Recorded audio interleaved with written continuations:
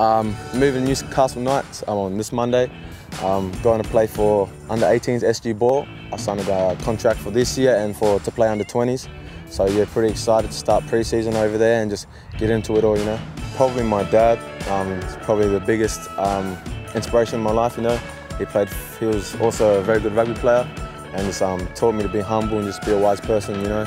Um, be good to everyone and just train hard and um, just work hard for what you want to succeed in, you know. I try and base my group with a bunch of people who are there to support you and that want to do the right things and, you know, aren't involved in that type of stuff. So it's mainly around the type of environment you're around and um, the type of effects people have in your life. So if all your friends are doing this and that's going to make you think, oh, I want to do that, you know, you want to be like them, want to be cool, but at the end of the day, it's, it's really not cool. Like, it's all fun and games now until something serious happens, you know, so you just got to think about it twice and just watch what you're doing.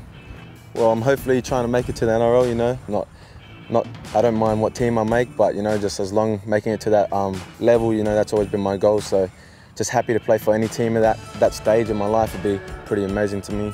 Just proud to come from this small town and hopefully put this um, place on the map for one day and just do it for all my, like for the community, my family and friends around here, you know. They've always been there to uh, support me and back me up during my career.